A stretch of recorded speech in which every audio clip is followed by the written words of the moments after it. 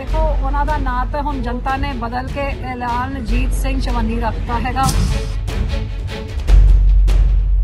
ਜਿਹੜੇ ਚੰਨੀ ਸਾਹਿਬ ਕਹਿੰਦੇ 5.5 ਰੁਪਏ ਸਕੁਆਇਰ ਫੁੱਟ ਰੇਤਾ, ਉਹ ਆਪ ਉਹਨਾਂ ਦਾ ਪ੍ਰਧਾਨ ਕਹਿੰਦਾ 28 ਰੁਪਏ ਤੋਂ ਘੱਟ ਕਿਤੇ ਮਿਲਦਾ ਨਹੀਂ ਹੈਗਾ। 5 ਸਾਲ 'ਚ ਜਿਹੜਾ ਪੰਜਾਬ ਦਾ ਇਸ ਕਾਂਗਰਸ ਪਾਰਟੀ ਨੇ ਨੁਕਸਾਨ ਕੀਤਾ ਹੈ, ਕਿਸੇ ਇੱਕ ਇਨਸਾਨ ਨੇ ਨਹੀਂ ਕੀਤਾ, ਇਹ ਸਾਰੇ ਕੈਬਨਿਟ ਦੇ ਮੈਂਬਰ ਸੀਗੇ।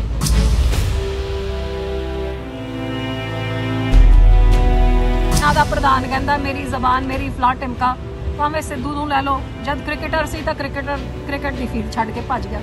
ਐਮਪੀ ਬਣਿਆ ਤਾਂ ਪਾਰਲੀਮੈਂਟ ਛੱਡ ਕੇ ਭੱਜ ਗਿਆ। ਮੰਤਰੀ ਬਣਾਇਆ ਤਾਂ ਮੰਤਰੀ ਮੰਡਲ ਛੱਡ ਕੇ ਭੱਜ ਗਿਆ। ਸਾਰੇ ਕਾਂਗਰਸ ਦਾ ਸਿਆਪਾ ਬਣਾ ਕੇ ਤਾਂ ਫਿਰ ਪ੍ਰਧਾਨਗੀ ਵੀ ਛੱਡਣ ਨੂੰ ਫਿਰਦਾ ਸੀ।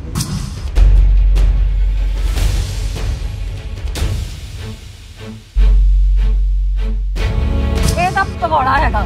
ਇਹ ਹਰ ਜ਼ਿੰਮੇਵਾਰੀ ਤੋਂ ਭੱਜਦਾ ਹੈਗਾ। ਕੇਜਰੀਵਾਲ ਤਾਂ ਸਾਫ਼ ਸੁਥਰੀ ਹਵਾ 'ਚ ਸਾਹ ਲੈਣ ਵਾਸਤੇ ਤਾਂ ਪੰਜਾਬ 'ਚ ਆਉਂਦਾ ਹੈ, ਕਿਉਂਕਿ ਦਿੱਲੀ 'ਚ ਇਹਦਾ ਸਾਹ ਘੁੱਟਦਾ ਇਹਦੀ ਖਾਸੀਅਤ ਨਹੀਂ ਹੁੰਦੀ ਹੈ। ਕਦੇ ਗੋਆ ਭੱਜਿਆ, ਕਦੇ ਕਿਤੇ। ਸੋ ਪੂਰਾ ਜੋਸ਼ 'ਚ ਅਕਾਲੀ ਦਲ ਤੁਸੀਂ ਦੇਖ ਹੀ ਲਿੱਤਾ। ਆਪਣੀ ਜਿਹੜੀ 100 ਸਾਲਾਂ ਦੀ ਰੈਲੀ ਹੋਈ ਸੀ 50 ਕਿਲੋਮੀਟਰ ਸੜਕ ਦੋਨੋਂ ਪਾਸੇ ਪੂਰਾ ਜੈਮ ਸੀਗਾ। 100 ਏਕੜ ਦੀ ਜ਼ਮੀਨ ਲਿੱਤੀ ਸੀ, ਉਹਦੇ ਵਿੱਚ ਪੈਰ ਰੱਖਣ ਦੀ ਥਾਂ ਨਹੀਂ ਸੀਗੀ। ਤੇ ਲੋਕੀ ਰਾਤ ਤੇ ਪਹੁੰਚੇ, ਅਗਲੇ ਦਿਨ 4 ਵਜੇ ਤੱਕ ਜਿਸ ਸ਼ਾਂਤੀ ਦੇ ਨਾਲ ਬੈਠੇ ਰਹੇ, ਇਹ ਇੱਕ ਸੰਕੇਤ ਹੈਗਾ ਕਿ ਲੋਕਾਂ ਦੇ ਵਿੱਚ ਅੱਜ ਦੀ ਹਕੂਮਤ ਦੇ ਖਿਲਾਫ ਕਿੰਨਾ ਗੁੱਸਾ ਹੈਗਾ।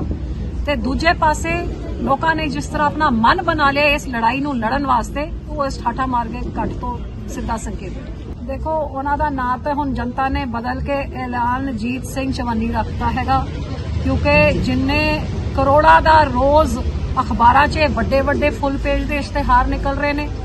ਪੰਜਾਬ ਦੇ ਕੋਨੇ-ਕੋਨੇ 'ਚ, ਹਰ ਸ਼ਹਿਰ 'ਚ ਵੱਡੇ ਵੱਡੇ ਬੋਰਡ ਲੱਗੇ ਹੋਏ ਨੇ। ਤੇ ਸੋਸ਼ਲ ਮੀਡੀਆ ਦੇਖ ਲਓ ਜਾਂ ਬੋਰਡ ਦੇਖ ਲਓ, ਸ਼ਹਿਰਾਂ ਵਿੱਚ ਦੇਖ ਲਓ, ਪਿੰਡਾਂ ਵਿੱਚ ਦੇਖ ਲਓ, ਜਿਸ ਤਰ੍ਹਾਂ ਦੇ ਲੋਕਾਂ ਦੇ ਪੈਸੇ ਦੇ ਨਾਲ ਆਪਣੀ ਇਸ਼ਤਿਹਾਰ ਲਗਾ ਕੇ ਪੈਸਾ ਖਰਚ ਕਰ ਰਹੇ ਨੇ, ਕੱਲੇ ਐਲਾਨਾ ਤਾਂ ਹੀ ਸੀਮਤ ਨੇ। ਹੁਣ ਮੈਂ ਬੋਰਡ ਆਂਦੇ ਹੋ ਦੇਖਦੀ ਕਿ 2 ਮਹੀਨੇ ਤੇ ਦੇਖ ਰਹੀ ਹਾਂ ਕਿ ਟੁਕਦਾ ਮੁਆਵਜ਼ਾ ਨਰਮੇ ਵਾਸਤੇ। ਮੈਂ ਇਹਨੂੰ ਇੱਕ ਬੰਦਾ ਖੜਾ ਕਰਕੇ ਦੱਸ ਦੋ, ਜਿਹਨੂੰ ਦਵਾਨੀ ਵੀ ਮਿਲੀ ਹੈਗੀ, ਲੇਕਿਨ 2 ਮਹੀਨੇ ਤੋਂ ਉਹ ਬੋਰਡ ਲੱਗੇ ਹੋਏ ਨੇ। ਕੱਚੇ ਮੁਲਾਜ਼ਮਾਂ ਨੂੰ ਪੱਕਾ।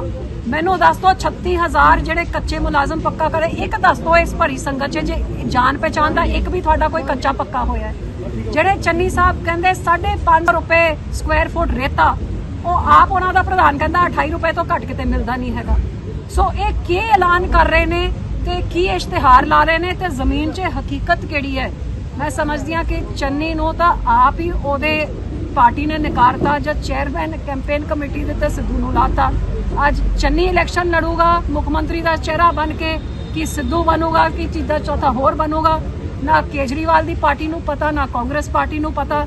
ਲੋਕਾਂ ਨੂੰ ਇੰਨਾ ਪਤਾ ਹੈ ਕਿ ਸ਼੍ਰੋਮਣੀ ਅਕਾਲੀ ਦਲ ਦੇ ਕੀਤੇ ਹੋਏ ਕੰਮ ਉਹਨਾਂ ਦੇ ਸਾਹਮਣੇ ਨੇ। ਸਾਡੇ ਉਮੀਦਵਾਰ ਕੌਣ ਹੈ? ਸਾਡਾ ਚਿਹਰਾ ਕੌਣ ਹੈ?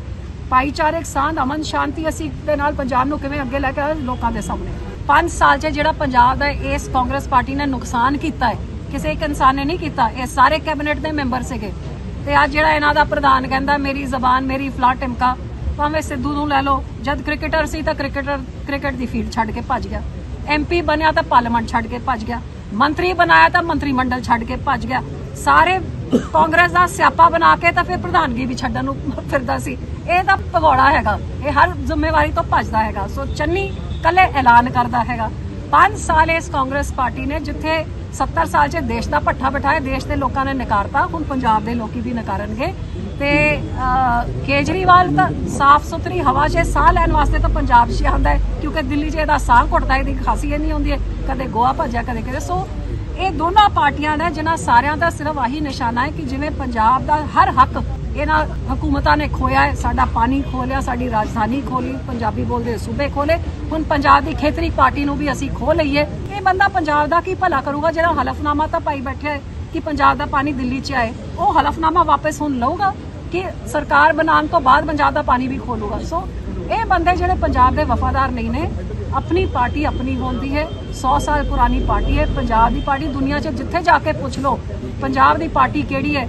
ਨਾ ਕੋਈ ਪੰਜਾ ਕਹੂਗਾ, ਨਾ ਝਾੜੂ ਕਹੂਗਾ, ਉਹ ਕੱਲੇ ਤਕੜੀ ਕਹੂਗਾ। ਸੋ ਲੋਕਾਂ ਨੇ ਤਕੜੀ ਦੇ ਨਾਲ ਬੀਐਸਪੀ ਦੇ ਨਾਲ ਸਾਡਾ ਬਹੁਤ ਵਧੀਆ, ਮਜ਼ਬੂਤ ਭਾਈਵਾਲ ਸਾਡੀ ਸਰਕਾਰ ਬਣੂਗੀ ਤੇ ਪੰਜਾਬ ਦੇ ਗਰੀਬ ਦੀ, ਕਿਸਾਨ ਦੀ, ਵਪਾਰੀ ਦੀ, ਹਰ ਵਰਗ ਦੀ ਤਰੱਕੀ, ਅਮਨ, ਸ਼ਾਂਤੀ ਭਾਈਚਾਰਕ ਸਾਂਝ ਨਾਲ। ਇਹ ਸਿਰਫ ਇੱਕੋ ਹੀ ਨਿਸ਼ਾਨੇ ਦੇ ਨਾਲ ਹੋ ਰਹੀ ਹੈ ਕਿ ਪੰਜਾਬ ਦੀ ਜਿਹੜੀ ਖੇਤਰੀ ਪਾਰਟੀ ਉਹਨੂੰ ਕਿਸੇ ਹਾਲਤ 'ਚ ਖਤਮ ਕੀਤਾ ਜਾਏ। ਇਹ ਪਿੱਛੋਂ ਜਿਹੜੀ ਤਾਕਤਾਂ ਹੈਗੀਆਂ, ਇਹਨਾਂ ਸਾਰਿਆਂ ਨੂੰ ਖੜਾ ਕਰ ਰਹੀ ਆ ਜੇ ਇੱਕ ਅੱਧੇ ਦਿਨ 'ਚ ਹੋਰ ਵੀ ਹੋਣਗੇ।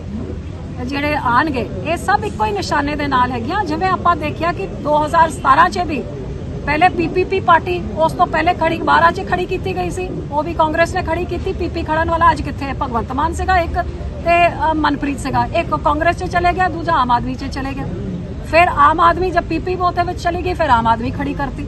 ਆਮ ਆਦਮੀ ਦੇ ਸਾਰੇ ਬੰਦੇ ਕਿੱਥੇ ਚਲੇ? ਮੇਰੇ ਖਿਲਾਫ ਖਹਿਰਾ ਆਮ ਆਦਮੀ ਤੋਂ ਨਵੀਂ ਪਾਰਟੀ ਕਰਕੇ ਮੇਰੇ ਖਿਲਾਫ ਐਮਪੀ ਦੀ ਇਲੈਕਸ਼ਨ ਲੜ ਕੇ ਨਵੀਂ ਪਾਰਟੀ ਖੜ ਕੇ ਲੇਕਿਨ ਵਿਧਾਨ ਸਭਾ 'ਚ ਬੈਠਿਆ ਰਿਹਾ।